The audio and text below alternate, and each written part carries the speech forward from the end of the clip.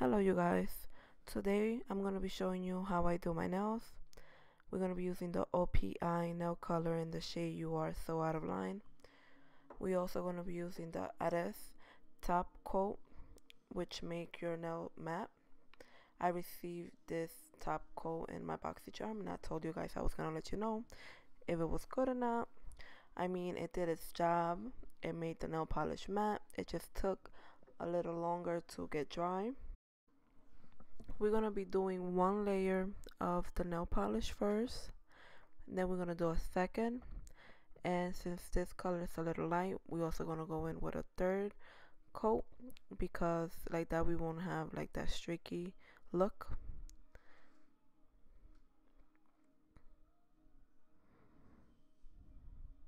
I am following this part because it's the same thing over and over. We're just applying the nail polish on, on the nail we're only gonna do three quotes.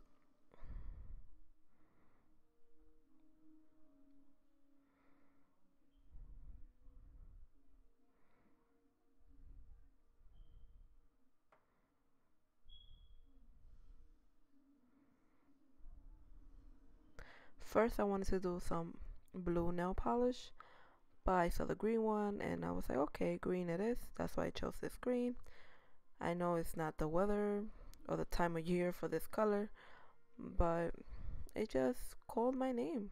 So I decided to just do this color. Now we are applying the nail polish on my thumb because I usually always leave my thumbnail for last because whenever I get a, a little mess in my nails, I use that nail, the thumbnail to clean up around it. That's why I always leave it for last. Again, we are applying three coats in my thumb also. Now we're going to go with a light layer of the Adesse top coat.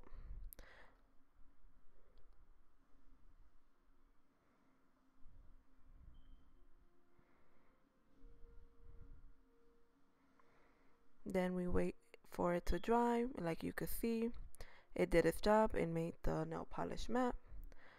So yeah, thank you guys for watching.